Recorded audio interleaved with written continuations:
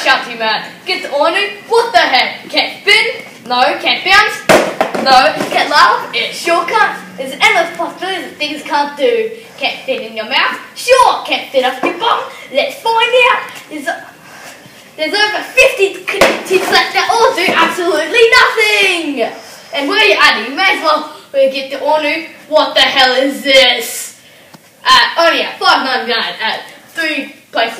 you know. And if you don't get it, I'll kill you. Hey, just hurry up. This is totally a scam.